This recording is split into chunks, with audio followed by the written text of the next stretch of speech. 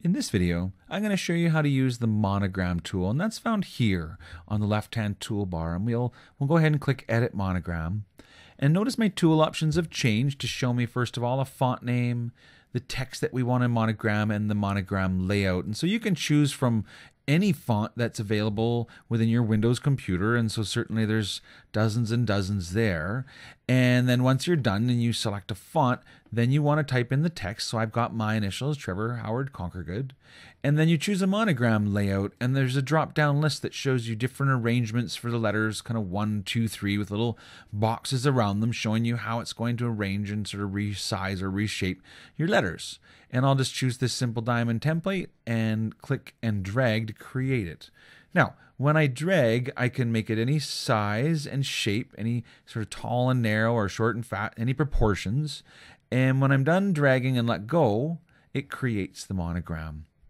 If I right click and let go, I can see the size of it and transform it like any other shape, you know, stretch it or resize it, whichever that might be.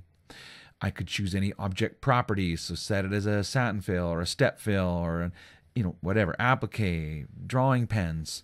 Um, I can see that it's set for a white fill with a black outline, and I'm thinking maybe I won't want to have a black outline, and I'll make it a blue fill or whatever color you like. Um, so that's the idea you create a monogram. Let's just quickly create another one. So we'll choose to, you know, some other kind of font and maybe just put in A, B, C and choose a different template. Um, so you can see how it gives us different, I guess, appearances depending on what you choose. Now, again, I'm going to, let's see, zoom over so we can see it better. And I'll turn off the black outline. Now I wanted to show you when you have an object like this selected, of course you can change its position or its size, but when you change to the Edit Shape Nodes tool, it gives you red handles around the little, see how there's little boxes that make the envelopes for each letter? And when I'm in the Edit Shape Node tool, I can select on those handles and move them you know, bigger or smaller, wherever they, you know, if there's something about your layout that just doesn't seem quite right and you want to sort of fix it, you can tweak the shapes of each letter's sort of envelope within that monogram. Now, to do that, you first select it with the selection tool, then you use the edit shape node tool to uncover those extra shape points. So now what I'd like to do is continue working on monogramming, but this time we're going to choose the file and new design menu. And when you use File and New and go through and select your techniques, just make sure you have at least embroidery turned on. Um, select a fabric. Now, here we have the option to choose a new monogram.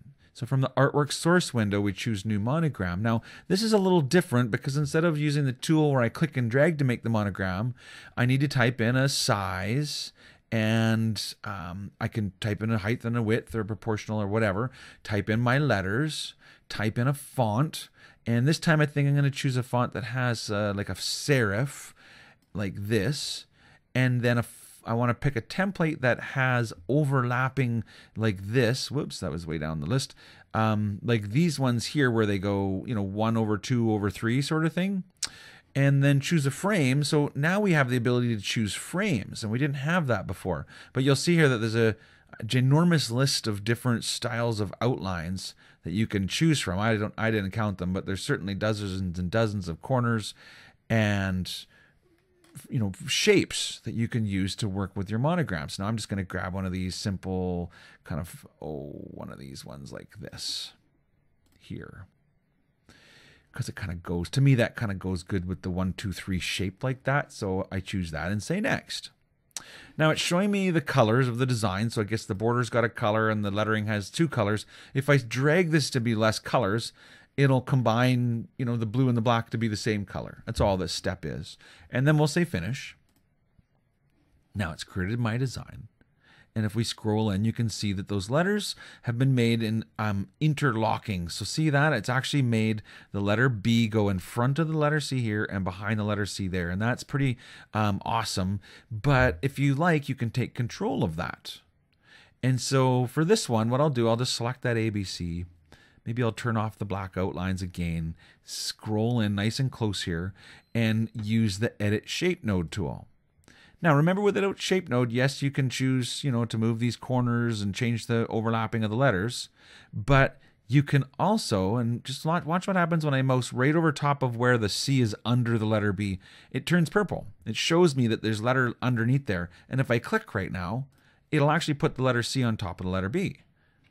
Click again, puts the B on top of the C. And so you get to kind of decide how you want to interlock the letters. So anytime there's an overlap, so for example, here, you know, the letter A is on top of the letter B. If I'd rather have the letter B on top, I can click there and it'll put the B on top of the A.